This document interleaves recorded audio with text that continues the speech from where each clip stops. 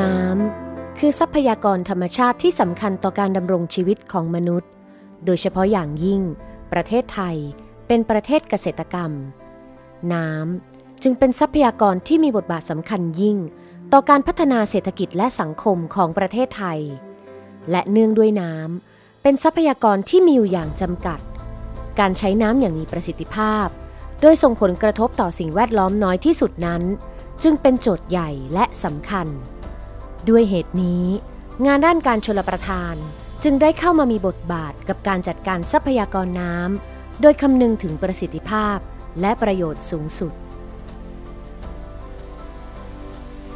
ภาควิชาวิศวกรรมชลประทาน จึงมีพันธกิจหลักในการผลิตทรัพยากรบุคคล ที่มีความรู้ทั้งในด้านอุทกวิทยา วิศวกรรมโยธา วิศวกรรมทรัพยากรน้ำวิศวกรรมชลศาสตร์ วิทยาศาสตร์ เกี่ยวกับดิน น้ำ พืช การบริหารและการจัดการ ตลอดจนการประยุกต์คอมพิวเตอร์สำหรับงานชลประทาน เพื่อให้บุคลากรเหล่านี้ สามารถนำความรู้และวิทยาการไปใช้ในการออกแบบ ก่อสร้าง รวมทั้งบริหารจัดการโครงการชลประทาน ทั้งในระดับไร่นา ไปจนถึงโครงการชลประทานขนาดใหญ่ ภาควิชาวิศวกรรมชลประทาน เริ่มต้นมาจากโรงเรียนช่างชลประทาน สังกัดกรมชลประทาน กระทรวงเกษตราธิการ ซึ่งได้ก่อตั้งโดยหม่อมหลวงชูชาติกัมพู เมื่อวันที่ 1 สิงหาคม พุทธศักราช 2481 จากนั้นได้เปลี่ยนชื่อเป็น ภาควิชาวิศวกรรมชลประทาน ภายใต้สังกัดคณะวิศวกรรมศาสตร์ มหาวิทยาลัยเกษตรศาสตร์ เมื่อปีพุทธศักราช 2509 และได้ย้ายมาสังกัด ภายใต้คณะวิศวกรรมศาสตร์กำแพงแสน วิทยาเขตกำแพงแสนจังหวัดนครปฐม ในปีพุทธศักราช 2549 จนถึงปัจจุบัน ปัจจุบัน ภาควิชาวิศวกรรมชลประทาน เปิดการเรียนการสอนใน 3 หลักสูตรได้แก่ หลักสูตรปริญญาตรีวิศวกรรมศาสตร์บัณฑิต วิศวกรรมโยธา ชลประทาน หลักสูตรปริญญาโท วิศวกรรมศาสตร์มหาบัณฑิต วิศวกรรมชลประทาน หลักสูตรปริญญาเอก วิศวกรรมศาสตร์ดุษฎีบัณฑิต วิศวกรรมชลประทาน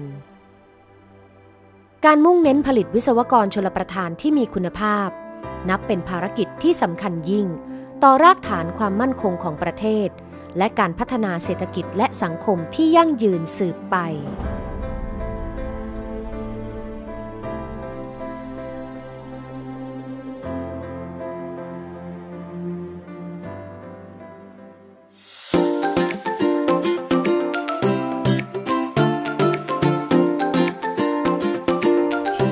วัสดีครับ สวัสดีค่ะ พวกเราเป็นนิสิตภาควิชาวิศวกรรมชลประทานนะครับ วันนี้เรามาทำอะไรกันคะพี่วิน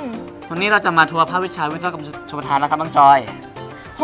น่าตื่นเต้นมากๆเลยค่ะ ทุกคนพร้อมยังคะ ถ้าพร้อมแล้วไปกันเลยค่ะ ไปครับ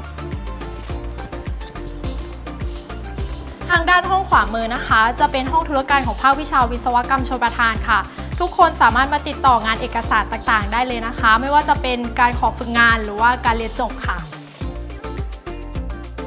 ในส่วนห้องด้านซ้ายมือนะคะ จะเป็นห้องที่ใช้ในการเรียนการสอนในรายวิชาภาควิชาวิศวกรรมชลประทานค่ะ โดยในน้องๆปีหนึ่งที่เข้ามาใหม่นะครับพวกนี้จะใช้เรียนในวิชาและสกิลหมัดชลประทาน แล้วก็สายแผ่นดินนะครับเมื่อเดินเข้ามาตรงสุดนะคะ จะเป็นห้องสโมสรนิสิตภาควิชาวิศวกรรมชลประทานค่ะซึ่งนิสิตภาควิชาวิศวกรรมชลประทานทุกชั้นปี สามารถมาใช้ได้เลยค่ะ ไม่ว่าจะทำกิจกรรมต่างๆ ประชุมใช้ได้หมดเลยนะคะ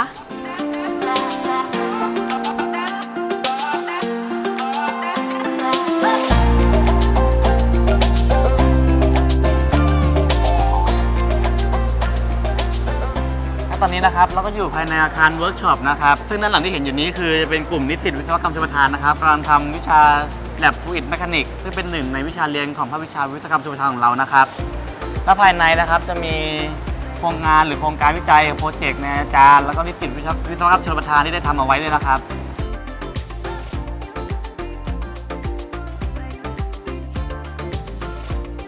พี่วินคะ อุปกรณ์ด้านหลังของเราเนี่ยคืออุปกรณ์อะไรเหรอคะ เป็นอุปกรณ์ที่อาจารย์ภายในภาควิชา แล้วก็นิสิตภายในภาคนะครับ ได้ทำเอาไว้ เป็นการทำวิจัยการชลประทานเพื่อสิ่งแวดล้อมนะครับโดยอุปกรณ์พวกนี้ก็คือจะวัดการระเหยของน้ำความชื้น แรงดัน แล้วก็พวกสภาพอากาศนะครับ เขาจะเก็บข้อมูลส่งไปที่ใน iCloud เราสามารถเช็คข้อมูลและหน้าผ่านแอปพลิเคชัน บนสมาร์ทโฟนของเราก็ได้นะครับ อ๋อ ใช่ระบบ IoT หรือเปล่าคะ ใช่ครับน้องจอย เป็นระบบที่ทันสมัยมากๆเลยนะครับ นอกจากอาคาร 2 แล้วแล้วก็เวิร์กช็อปแล้วเราจะมีตึกหนึ่งซึ่งเป็นตึกของภาควิชาวิศวกรรมชลประทานอีกนะครับ เดี๋ยวเราไปดูกันเลยนะครับโดยส่วนอาคารที่ข้างหลังที่เห็นนะครับ เป็นอาคารแห่งแรกที่ถูกสร้างขึ้น ในคณะวิศวกรรมศาสตร์กำแพงแสนแห่งนี้นะครับและส่วนปัจจุบันได้เป็นตึกหนึ่งของภาควิชาวิศวกรรมชลประทานของเราแล้วนะครับน้องจอยในส่วนภายในตัวอาคารนะครับ เราจะมีในชั้นหนึ่งจะมีห้องสัมมนา แล้วก็ห้องประชุมนะครับผมถ้าเกิดเราขึ้นบันไดไปชั้นสองจะเห็นบันไดทางแยกซ้ายขวา อันนี้เราเอาไว้คุยกับห้องครูอาจารย์เอาไว้หาอาจารย์ติดต่องาน พวกงานวิจัยต่างๆก็ได้นะครับพี่วินคะหนูมีข้อสงสัยค่ะว่าภาควิชาวิศวกรรมชลประทานของเราเนี่ยมีแค่อาคาร 1 อาคาร 2 อาคาร shop เหรอคะ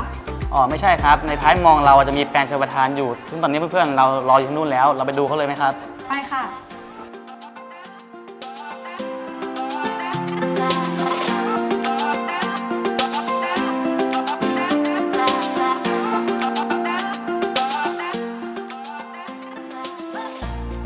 วัสดีค่ะ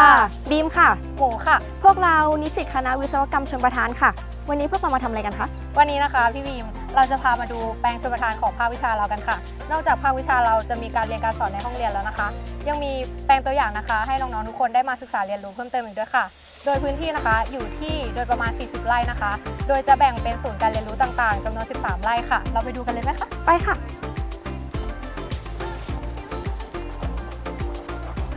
ที่นี่คือ Learning Center นะคะ หรือศูนย์การเรียนรู้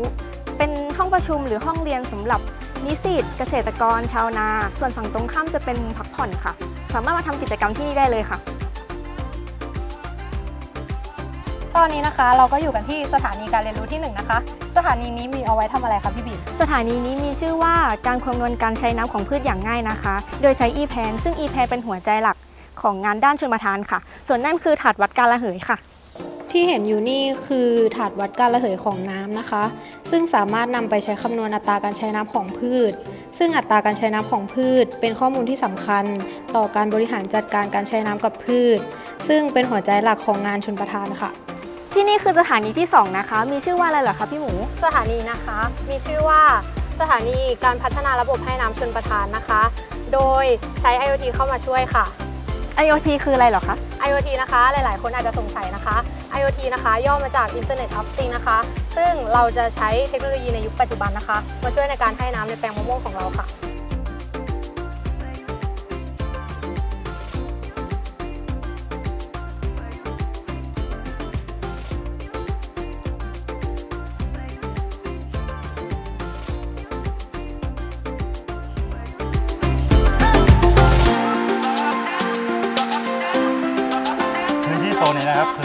เราใช้เรียน on-farm นะครับแล้วก็การทำวิจัยของเรานะครับ ซึ่งมีการให้น้ำทั้งหมด 3 แบบนะครับ ก็จะมีนะครับ border นะครับ basin นะครับแล้วก็ furrow นะครับที่เห็นข้างหลังนี้คืออะไรครับพี่ฟ้องที่เห็นข้างหลังนี้นะครับเป็นแปลงวิจัยของภาควิชาวิศวกรรมชลประทานนะครับ จะเป็นจะมีอยู่ 2 ระบบนะครับมีระบบหัวสปริงเกอร์และสายน้ำพุ่งนะครับเพื่อเปรียบเทียบประสิทธิภาพการให้น้ำนะครับผม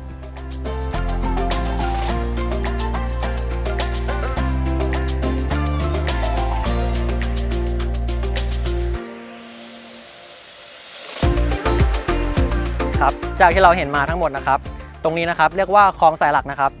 ซึ่งจะคอยส่งน้ำกระจายเข้าไปในวิทยาเขตกำแพงแสนของเรานะครับ นอกจากนี้เรายังมีอ่างกักเก็บน้ำนะครับ ซึ่งที่นี่เรียกกันว่าบ่อหนึ่งนะครับผม